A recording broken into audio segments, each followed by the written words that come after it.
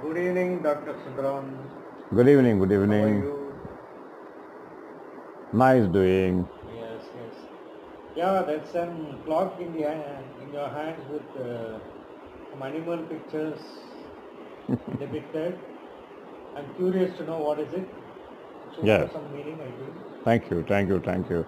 Uh, this is the innovation of my last uh, uh, two decades of working with uh, young parents. You know, I have helped more than 10,000 young parents for the last 10 years using different uh, parents coaching program. There's one parenting style where we teach young mothers to become their own psychologist. So once they become the psychologist for their kid, then it becomes easy for them to raise a genius kid. That is how we went into this parenting style. This is these represent the 12 parenting styles of the mothers. Okay, okay. So, can you explain a bit about uh, each of them? Yeah. Uh, see, these are 12 parenting styles. Okay. So you have to understand what is parenting. Parenting is nothing but the emotional support you give to your children to move them from one level to next level. It is like a GPS system for the kid. So there are uh, 12 parenting styles. Okay. So that 12 each each animal represents one quality of the parent. That is how it has come. Uh, you have to understand there is something called a seed and a feed. What is the seed? Seed is a talent, isn't it? A seed. Every baby is having a seed or a talent. And wh- what the mother gives is the feed. Hmm. Like a plant requires nourishment, hmm. a seed requires a proper feed. Hmm. Suppose I am hungry. Okay. Then I am asking, maybe I am hungry.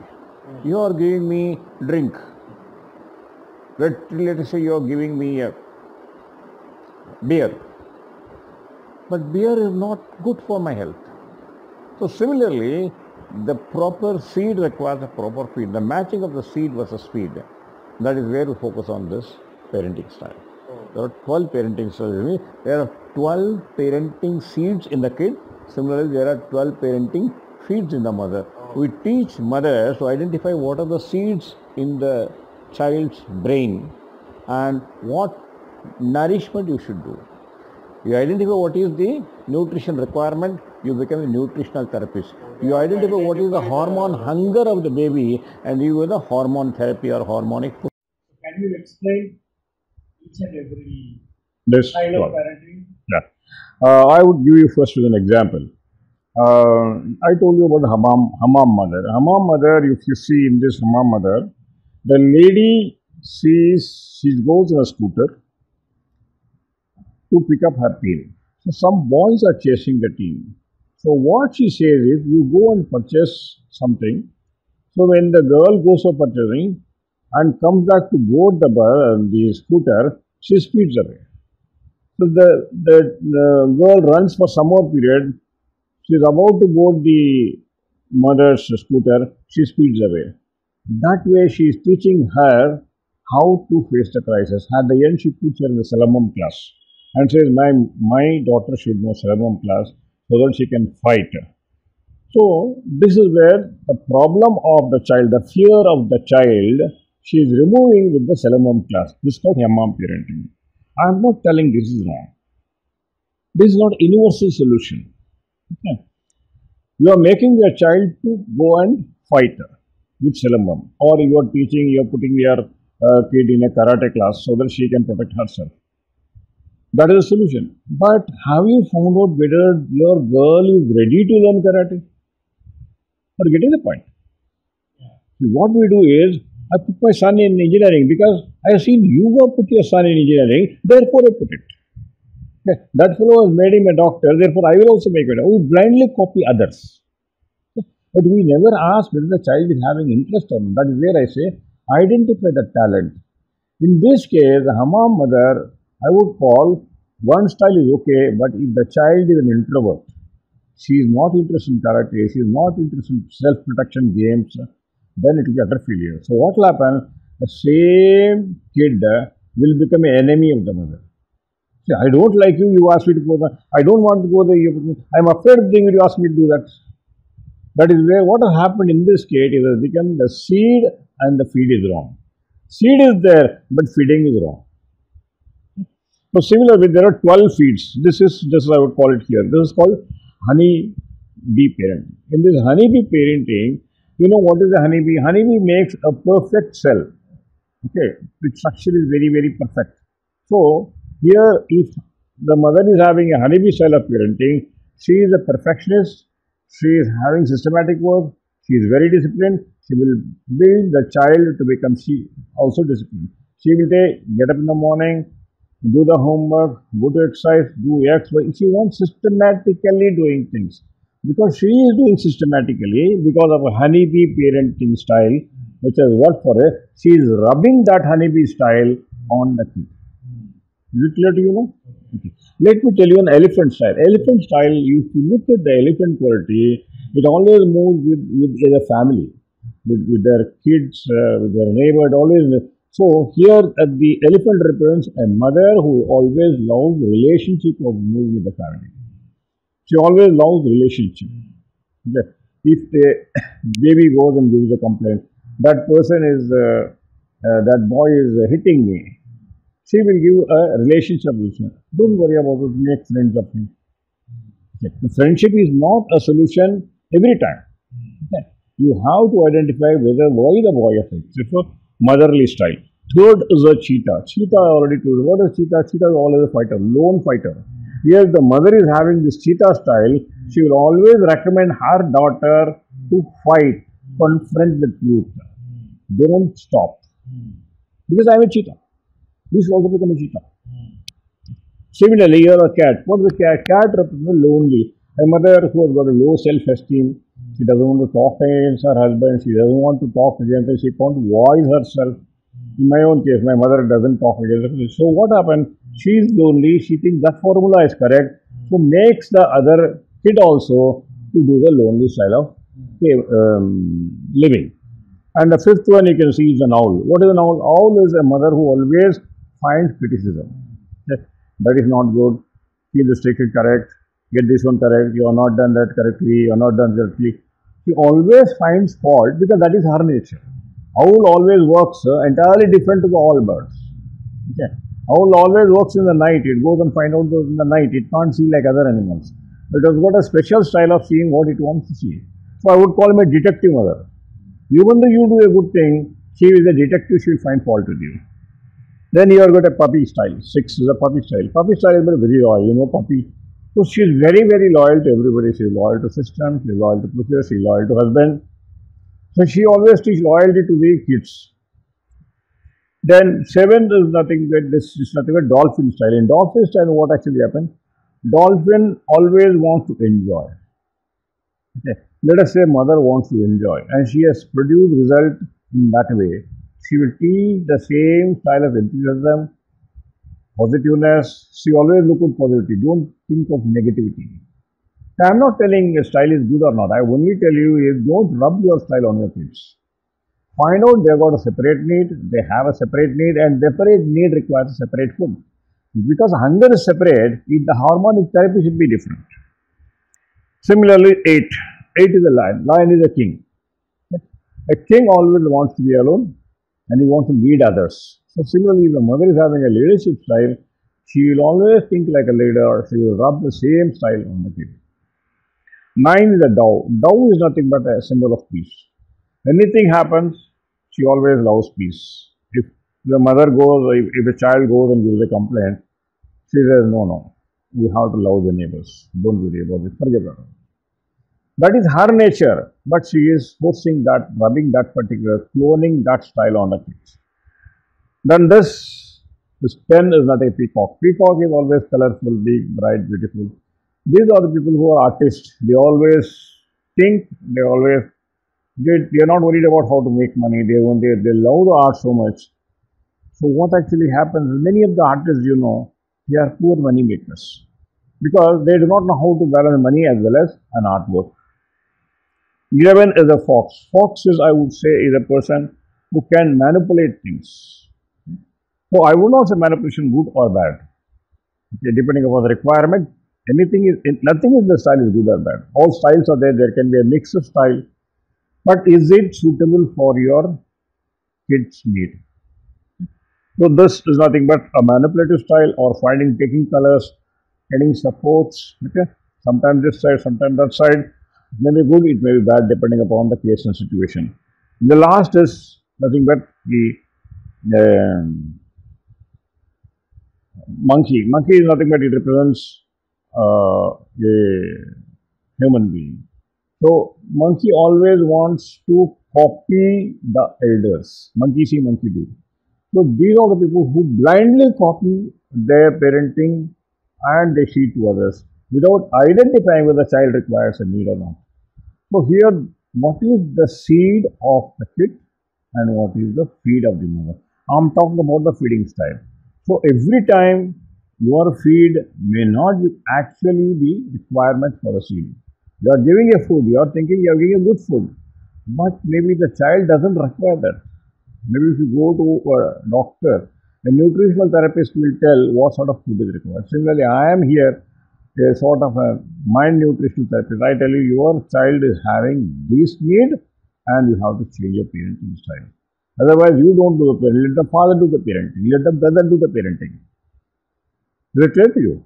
So, we, we, in other words, we make every young mother a psychologist of their kid.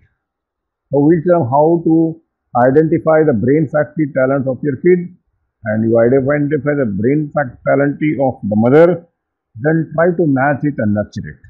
Fantastic classification. Your formulated this? This is actually based on four uh, psychometric tools. We have combined it during our clinical experience. It's very scientific and. We, we give a questionnaire to the mother, psychological questionnaire, so that they can identify, first they can identify their talents, then we also teach them how to identify with the scientific tools to identify the talents of the kid. And the next level, we tell them how to match the talent with the, uh, the needs and the kids. And how would you identify which category the parent belongs to? Say the mother. That is what I am doing now. First, here the proposal number step one. Say here is see uh, my, my message here is my mission to help one million young parents. Okay? The philosophy is catch them in. Catch them in. As quickly as possible, you mold them. Because afterward molding becomes very difficult. Once they become afterwards, you find he is a wrong engineering taste, and afterwards, 5, 6 years engineering is gone. And then you find to say that person is not having engineering life, you want to become a journalist. So, first number one is scan the brain talent of the mother. First is you have to learn the brain talents of the mother. The next you have to scan the brain talents of the kid. Third is reparent a new story for the world about your kid.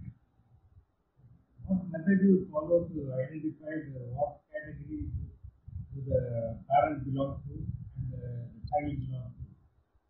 In these classifications. That's what I am telling you. Now, I am giving you a psychological tool. So, with that tool, you will identify the talent of yourself first.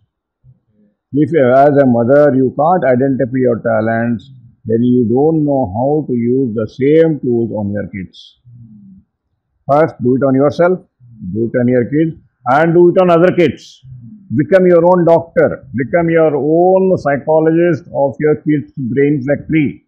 Okay, using that psychology tool, uh, mother can say mother is identified as elephant category, Right? and then uh, how she finds uh, the child, the seed, uh, is which category, and how she matches. See, that is what I am telling you. There is a complementary and there is a cross parenting style. See, let us suppose, for example, a cheetah parenting style. Okay, mother is always a fighter, but the child is a peace lover. Okay, so entirely diametrically opposite.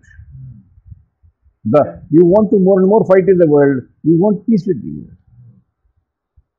Okay, then afterward, what happens if these mothers start parenting it? What will happen? More gap will come, Mm. more enmity will come. That's what I'm asking. That is what I am telling you. Don't do that. Hmm.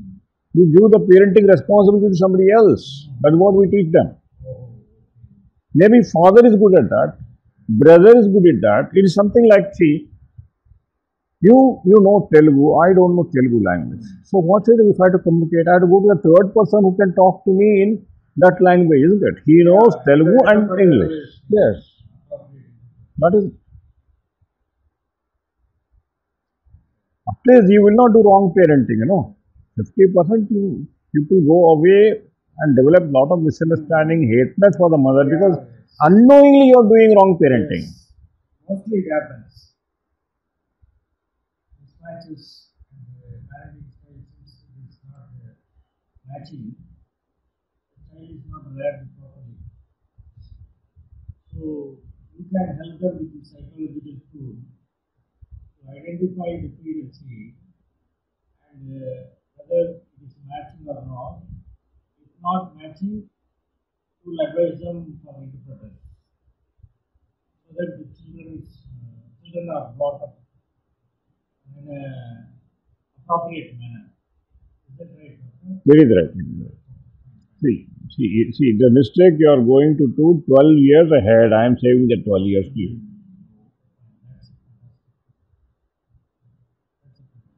Okay. So, thus this is a school and we help young mothers to become master. We have a system so that once you learn this, you can take the whole parenting journey of your kid in your hands. Hmm. See, when I know that uh, I'm not a better person, I'm not a better doctor, I will refer you to some specialist, isn't it? There is, to some extent, a doctor can help. Hmm. Afterwards, the doctor, what he will do, he will refer you to a specialist. Hmm. So, at least you should know which area I should refer to specialist. Hmm. But what happens because you don't know, you start parenting it. You become a doctor for everything. Then afterward you say, my, my, my kid uh, has taken engineering and now he is a failure. For the last 10 years he is doing engineering and he is a failure. So that's how it comes. Wonderful. Thank you. a wonderful thing. Although it looks like toy in the beginning, it has a deep meaning inside and so it will be a great, great help to the parenting humanity. I wish you all success. Thank you, thank you, thank you. Wonderful invention, Yes. Uh, methodology, and we'll see. It's going to play a great part in parenting. Thank you, thank you. My missions help 1 million couples. You can join me as a business partner, you can join me as a coach, you can learn this and you can work with my team. Okay. If you are a psychologist, you can learn this new method. This is not taught in academic. 1% of the coaches in this world know this method. It is not an ordinary parenting. This is not for everybody. Only for serious parents. I always tell there are three types of parents. One is a Vikshapati parent, second is a Lakpati parent, third is a Karorpati parent. I'm not talking about the financial wealth set, I'm talking about the mindset. Vikshapati parent is not at all interested. He is a Viksha. He only he wants to live like a beggar. He wants his children to live like a beggar. He never wants to improve. Lakpati parent is once in a while find out the best school, best tools, best toys, and help the kid. A Karorpati parent is a parent or a mother who takes the complete journey in the control. She is becoming a mother psychologist. She is making a genius kid because she herself is a psychologist. Now I am making every mother a psychologist, an engineer, a brain doctor, whatever you can call it. Because it is something like 1 plus 1 is equal to 2. If there is no results, there are two mistakes. Either I am not teaching you correctly or you are not learning correctly. There is no third mistake. Because this is a secret that come out of the 10,000 young parents experience formula over the last 10 years working my clients in India and abroad. Thank you, thank you very much for uh, taking this uh, sort of a session and question answers. Thank you, thanks a lot. Thank you, thank you, doctor. Thanks a lot.